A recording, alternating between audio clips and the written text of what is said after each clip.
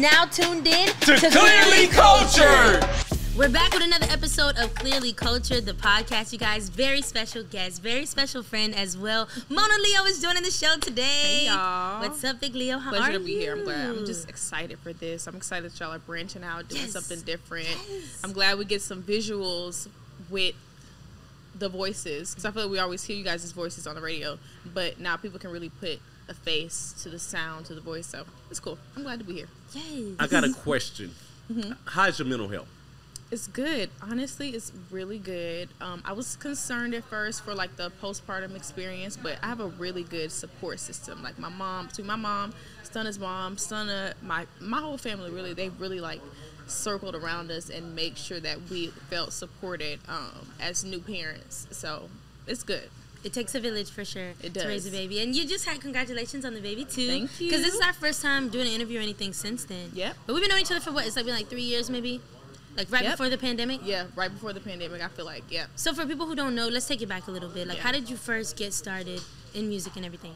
So I have a younger brother. I always talk about him. His name is um, Young Rampage. He's still in high school. He's getting ready to graduate. So I feel like people will be able to see more of him now because he's not obligated. Well, he, he, let me say this: he doesn't have to be at school every single day. Obviously, like when you are a kid, it's like difficult for you to like be trying to do like have a rap career Yeah. and also go to school. But I feel like people will be able to see more of him in like this upcoming year. So I'm excited for that to do more stuff with him. But I have a younger brother. His name is Young Rampage. Um, I took him to the studio for um, like his. I want to say it was his 14th. I can't remember. I took him to the studio though for his birthday um, for the first time. He was always a really good, talented freestyle artist, um, and I would always record videos of him rapping over beats, stuff like that. Posted on my Twitter, it would go viral. Um, so I took him to the studio for his birthday, and he said that he wanted me to get on the song with him. Me and my older brother, my older brother, he wanted us to do a song with him for his birthday. So I did my verse, wrote it real quick, and I just did it as a joke. And I posted it to Instagram, and it got a decent response from like my peers. Um, and from there, I was like, okay, this is gonna be something that I pursue. And then the next song that I ended up recording was "Beat Down Your Block," and I posted the snippet on Twitter, and it went um, viral. And labels started calling me. I quit my job that I had at the time. What It was your job? I was working as a crisis intervention. So like Wow. um, for the city of Houston, if like when you call now, I was answering like 911 phone calls, Wow. literally. So um, I was doing that, and I quit my job. Um, I flew to LA. I met with a label out there. I ended up turning down a label, all of the label deals, because I wanted to stay independent. But from there, um, I guess it was just up. For And real? Now we're here. Let me ask you, how did you come up with the name Monaleo? So um, I kind of wanted, well, obviously I wanted to be a, a play on Mona Lisa. Um, I feel like I'm a work of art. Um, You know, Ah. that's just that's how I felt about right. myself, and that's True. how I still feel. Um, so I kind of chopped off the Lisa. I put Leo, Mona Leo, and that kind of was my name before um, I was ever thinking about being an artist. So I had a lot of different ventures before then. Like I did makeup, and it was Mona Leo makeup, and then I did clothing. It was Mona Leo clothing, Mona Leo merchandise. Small shit. Right, right, right, obviously right, right. like it wasn't just like taking off but it was just like something that i was like branding for myself and it just kind of carried over into the music. So when did when do you think you started that branding? Like was that before beating down your block? definitely way before long before. So i probably was in i changed my instagram name like when i went in, when i got into high school. I think like my ninth grade year i wanted to be like mona leo. Like that's the persona. That's that's who i wanted to i wanted to step into that and what that meant for me was just like a more confident um, strong, just beautiful, elegant version of myself because I feel like I went through a lot of things growing up, and I just kind of wanted to transition when I got to high school. Um, Yeah. so I guess that's where I. Now you got a lot of social media followers, and they so loyal. The only other loyal. artist I know who has loyal um, followers like you is 0 I Mm-hmm. mean, your followers will do anything you ask to ask them to do. Yeah. Why are they so loyal to you? You think? I think we have this camaraderie um, amongst each other, and just there's a solidarity um, because I'm a human being, and they really um, they recognize that in me outside of the artist. They recognize me as being a human with real emotions. I speak on real shit that a lot of people are afraid to talk about or um, just are not ready to talk about. I would say so. I think we built like a really close, tight knit relationship because of me just being able to talk about personal experiences and them being able to relate. Right, because I see you in your car talking. I see you at the mall talking. I'll see you at your house talking. When we had when you had that party, what what party was it? It wasn't Halloween. It was like a pink party, like Oh, the girls outside party. the girls outside party. Mm-hmm. I mean, they were like on the gate. We were like, this looks like Michael Jackson is inside. Like we were tripping out. it was the fans crazy. Were, yeah, that was the first time that I had. And I also I let the record go to show. I grew up very very introverted. I grew up very. I was just weird, strange, whatever you want to call it, kind of like the fly on the wall. I never really spoke very much, like when I was in rooms. So to go from that to now being able to throw a party and people are lined up, wrapped around the gate, police coming to shut it down, like that was a really mind-boggling experience. Mm-hmm. But I talk about that, Yes. and again, going back to what you said, I think that's why we have such a close relationship because they've also been able to see the journey of me going from this person to now, you know, just getting bigger and bigger. When I came to your party, I realized you were a superstar. Now, you're one of my favorite artists. I can't lie. Mm-hmm. You be saying this. Is this true? Are Will you talking tell Should us- or we this test is for him? real? Should we test him? Yeah. I mean, you Pull were out my, that- pull I out- got a pull out bad, the phone. J-Mac, I know you're ready there? for this. I wouldn't ask if I didn't think you were ready. I, I mean, I got a bad uh, Memory. memory. Here I you do. go. I do. about to quiz it. But I, I mean, I do know the songs. You know, you started off with Sober Mind. Why did you start Mm. off with that? I, I wanted to. So first of all, obviously, when I was pregnant, I could not drink. Obviously, drink liquor. Um, so I didn't mean when I wrote sober minds. I wasn't literally talking about like sobriety. I was really just talking about like clarity mentally, like just. Um, I went through so many different emotions and hormones, obviously, when I was pregnant, and I had to face myself a lot of the times, um, face the things that I didn't want to face, and obviously, I couldn't mask that with alcohol or any. I couldn't mask that. I had to really deal with all of those emotions, and it was probably the most difficult thing I've ever done in my life. L- between pregnancy and labor and birth, Uh-huh. that was like the most difficult experience for sure. So, a sober mind was kind of like an ode to this new person that I was becoming. Like, um, you know, just mentally, things were clearing up for me. They were making sense. My purpose became a little bit more clear um, throughout my pregnancy. I was just able to see things for what they were. And I think that's why I wrote sober minds. But it Oh. also, it can it's a double. You know, it could also double as s- literal sobriety because I was literally sober. Obviously, Speaking What of about pregnancy. Misunderstood? um, misunderstood. I love that one. That's I another that favorite. I wrote that for all of like the all of the black women in my life, and I I, I want to stop saying strong black women. Like I want to step away from that. Just black women in general. I wrote that for um, all of the women in my life, um, all the matriarchs of the families, like my mom, my grandmother, um, Stunna's mom. I Uh-huh. wrote that for them and myself, obviously. Um, my grandmother's because I wanted to just talk about the experience of like being a black woman and having to um, kind of live this double life, like have to present a strong, you know, present yourself as if you're strong on the outside and then struggle with a lot of different things internally. So I wanted to write that song for um, all the women in my family, and they love it. We love it. We play it all the time. It's like it's our thing. we do love it. Also, speaking of your birth, how did you decide that you want to do it at home? Um, I've decided very early on in my pregnancy, like as soon as I found out, I knew that I wanted to have a home birth. I knew that I wanted it to be intimate. Because my mom and my grandma, they both had very traumatic birth experiences. My mom had C sections with all of her children. My grandmother only had one child because she almost died giving birth to my mom. So I wanted to, to kind of take back my power, take back my control in that situation, and I wanted to do it from home. You weren't nervous about it? I was. Yeah. I was. I didn't know how I was going to do it because I don't have a very, or at least I thought that I didn't have a very good pain threshold. Like I don't, I don't, I didn't have any tattoos, I, you know, anything. So I didn't think that I was ready to Ooh. experience that type of pain. I had never broken any bones, nothing. And you didn't take nothing? I didn't take anything. Oh my. Wow. Nah, nah, nah, nah, nah, nah. I didn't take anything, and he knows obviously because he was there. Yeah. He was there. We were both like, that was difficult for us because I, at a point in time, I was ready to go to the hospital because that pain got so intense, and I was in labor for 48 hours literally.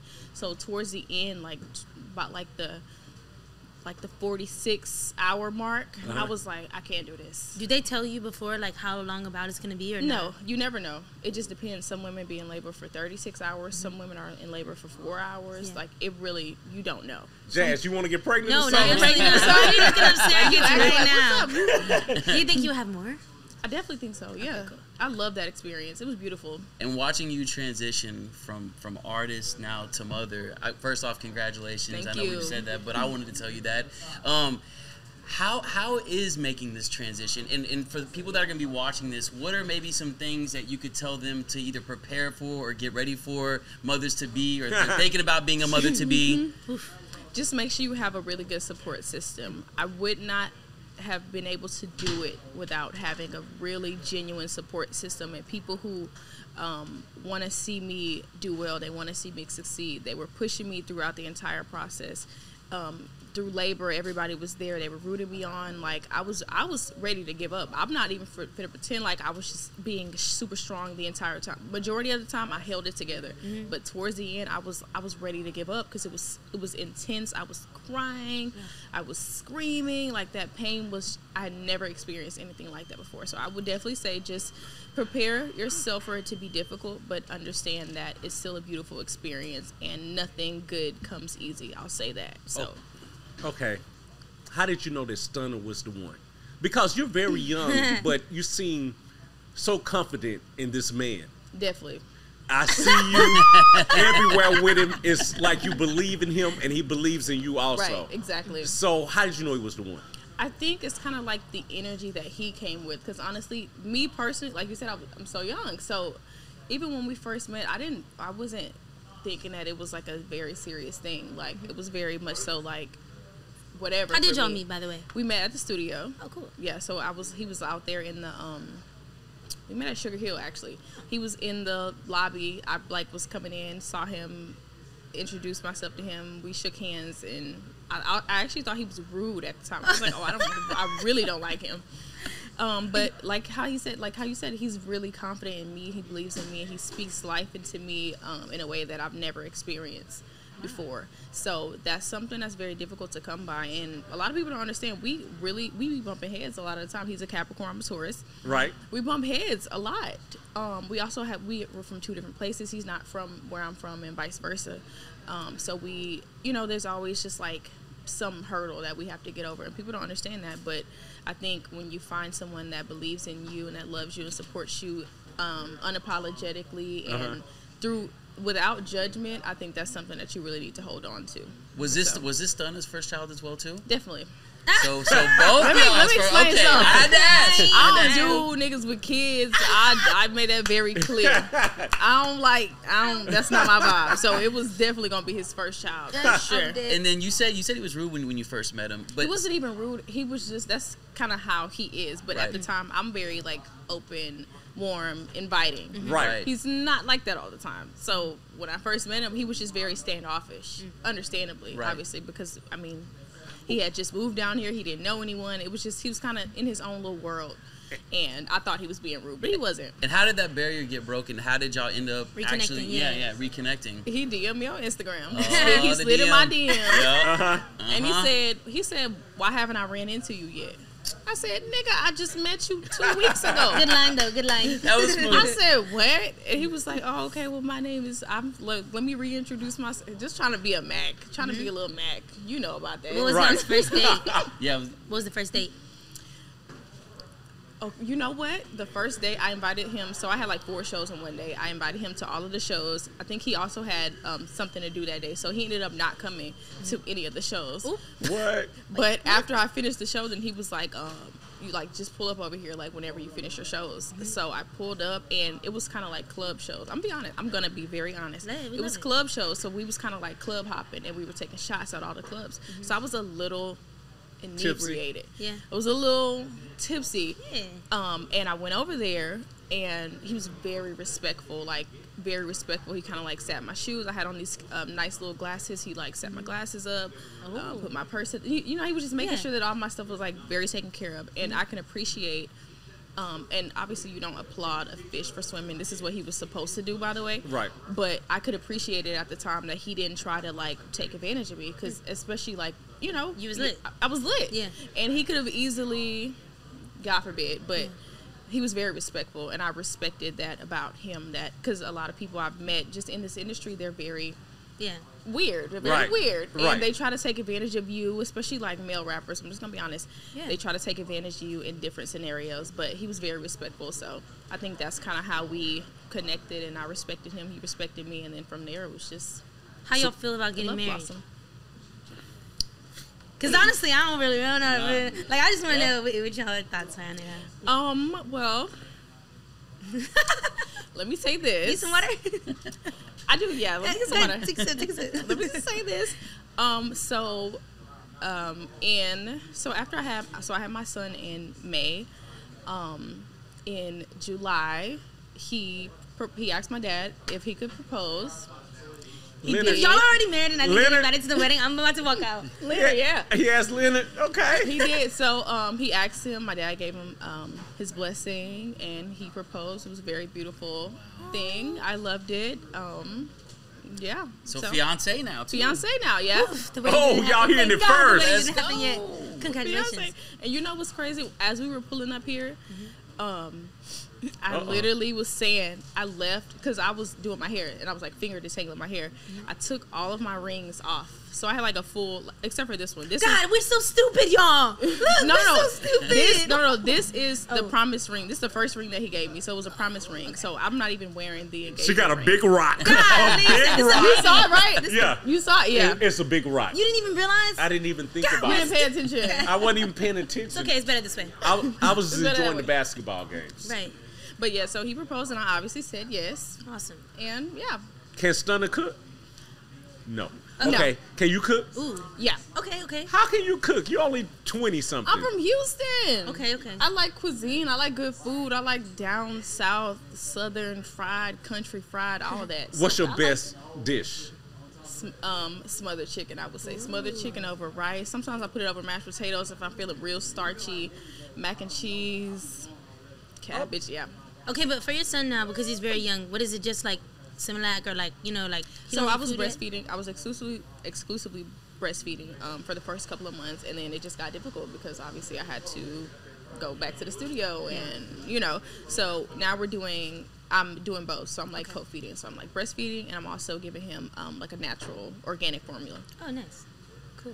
Would Okay, you- also, go ahead. Okay, Go now you Go ahead, go excited. ahead, Go go ahead. Where the flowers don't die, because we didn't talk about the title of the Yeah. project. How did you? Why did you choose that title? Um, I think I consider myself like the rose that grew from the concrete. So um, I feel like I was very unfazed by my circumstances, and it, I kind of was able to grow and blossom in very, you know, questionable situations. Um, and so that's kind of how I came up with where the flowers don't. Die. Well, let me say, so I did a song with NoCap um, called "Miss You Already," and in that song, he said a line like talking about his friends and saying that they were on the other side where the flowers don't die. And I thought that was so beautiful. It really resonated with me for obviously personal reasons because I identify myself as the rose that grew from the concrete. So that's kind of how I wanted to. Um, that's how I decided that that line that he said would be good for an album title or project title rather. Fine. What about Goddess? Tell us about that Yeah. song. I love Goddess. So Goddess is I actually when I first recorded Goddess, I didn't it wasn't going to go on the project at first because I didn't like it initially and it was literally just four lines. It was literally just the hook and I was like, eh, I was iffy about it. Um, I just I don't know. It just wasn't doing it for me at the time. But I think Goddess is just talking about like um, how beautiful women are and you know sometimes men just don't step up to the plate and i was just i was really being satirical by saying like how can god be a man because niggas ain't shit. yeah. literally um, but it was satirical obviously i believe in god i believe that there is a higher power um, definitely never want to disrespect the higher power that i believe in but like i said it was satirical fun lighthearted Also, only my bad. Only feature on the project, Flo Milli. Yeah. You guys have done like a couple songs together Mhm. now. It's like three or four, maybe. And she brought you out of Coachella, like all those. Yep. Different, how did y'all like connect? Like y'all are, seem like y'all are real life friends. Yeah, we you know are. what I mean? We are really friends. Um, I wanted her to be on "We Not Humping." I wanted her to be on the original song, but um, it didn't work out that way. So I put the original out, and then I recruited her for the remix. And when we met each other in person, we instantly clicked. We instantly vibed. She was super genuine, super supportive of the entire process from start to finish. So that's my sister. Okay. I love her. Last one, Cologne song. Yeah. Mm-hmm. And I want to know what are your favorite three colognes for a man? For a man, okay. Uh, well, Cologne song. I was in the studio literally, and somebody walked in, and they had this really potent cologne, and I love like I, when I came in, I actually what kind of perfume I love. The streets. She wears the streets. The streets, yeah, I believe you. It smells good on me, though, right? But I love just scents, and um, I asked him what kind of cologne it was, and he didn't remember.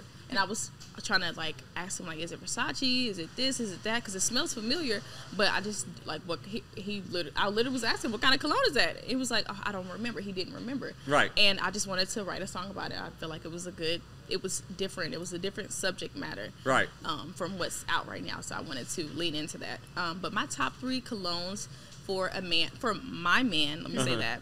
Um, Thank bar you, number Timmy. nine. Okay, I, I got that. You you got that? I got that. Um, there's this Chanel cologne that he wears sometimes. Okay. Um, and the third one is like I think it's called Prada Ocean, if I'm not mistaken. It smells really good. Okay. Top what about three you? for. Favorite perfume?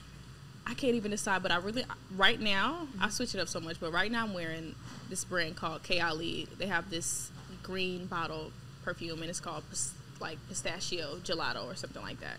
That's what I'm wearing right now. Okay. What about the Barbie movie? Did you go see it? I did. I actually did. Oh my god, it was so cute. I have to show y'all the videos. I got. Um, I took my whole all the women in my family, like my mom, Stunna's mom, um, my dad's wife, my younger sister, my friends, my homegirls. I took everybody to go and see the Barbie movie, and I rented like a big old pink limo to pull up outside, and I threw like a little Barbie themed party, Aw. and it was a bunch of pink liquor there, and it was pink foods, and I took everybody to see the Barbie movie in the pink limo. Um, we we got shit face. so we didn't even get to see the movie because Nah. we got there. We were just in the movie theater, just laughing and giggling. It was such a beautiful. It was so fun. But yeah, I saw. I saw it kind of. I guess you could say I, I didn't really see it. That's funny.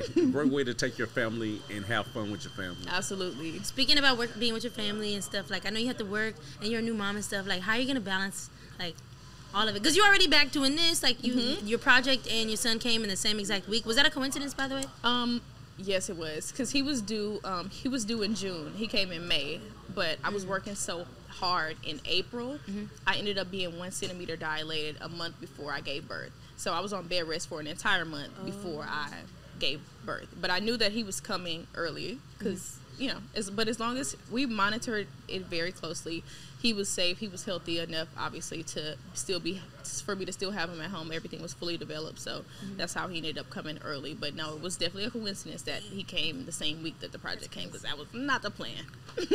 And one thing, one thing about you, you, you, and I love hearing the positivity, and I feel like that's why a lot of people are naturally, gravitate, yeah. yeah, they gravitate towards you. And I also love that you bring up family a lot, and that's one thing I want to ask. So, I love my family. so you got a big family, right? Yeah. So mm-hmm. where are you from? I'm from Houston, so I'm from Houston, Texas, for all you guys watching. But specifically for the people that are from Houston, I'm from Ridgemont. So I'm from Ridgemont Heights.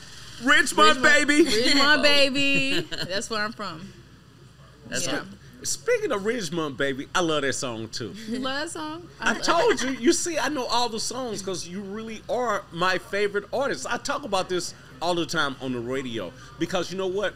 I see a lot of artists, but on your album, it has so much flavor.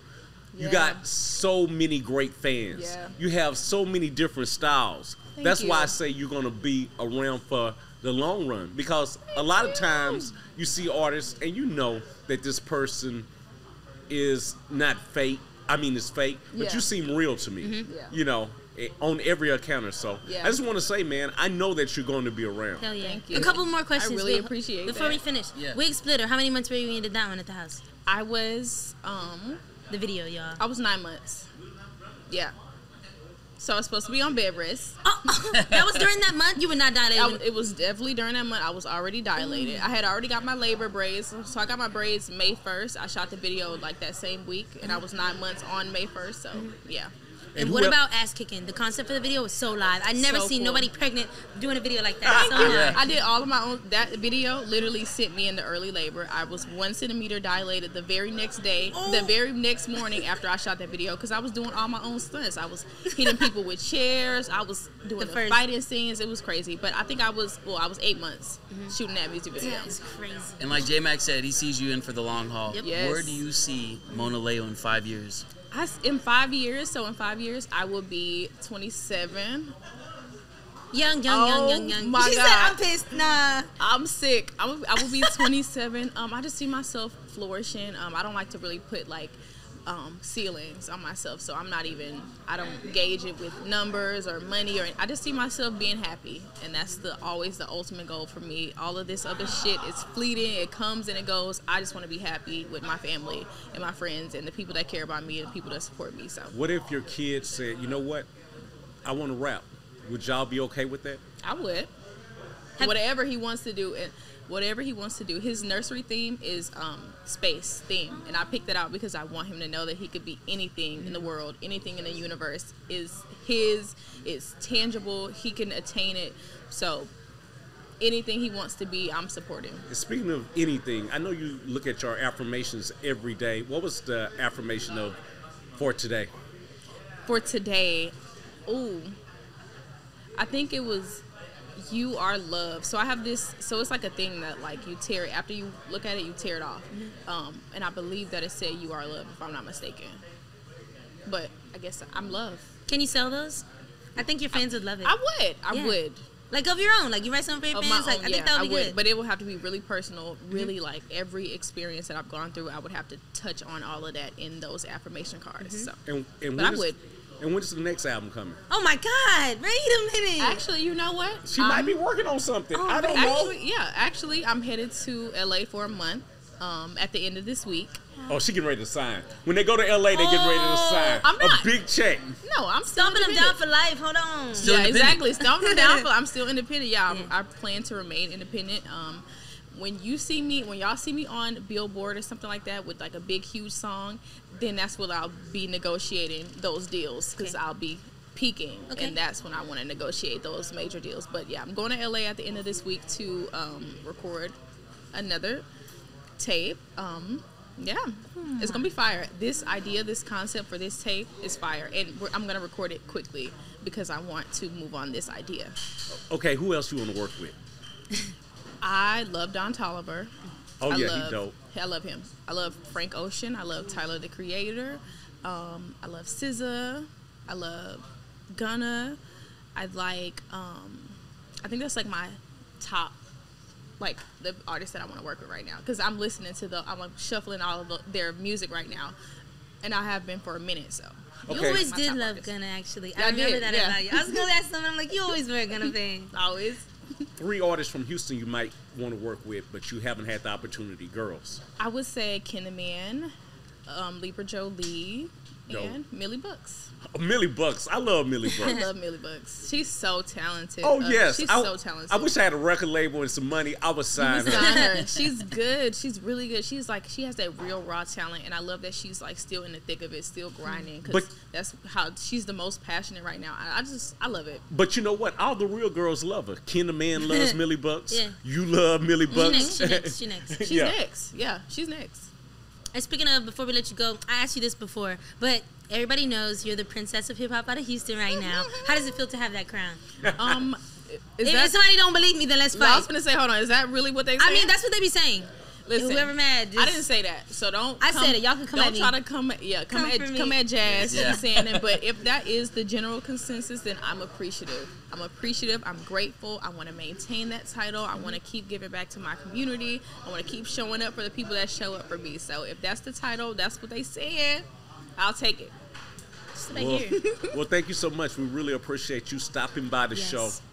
Thank y'all so much for having me. I really Thank appreciate Thank y'all. Um, these are three people that I really love. They've supported me since the very beginning of my career. Um, so it was only right that I came on the show to show support for them because they've always supported me. So thank you guys so much for watching. I'm Monaleo. And I'm clearly all- cultured. Big yeah. I'm clearly cultured. Let's go.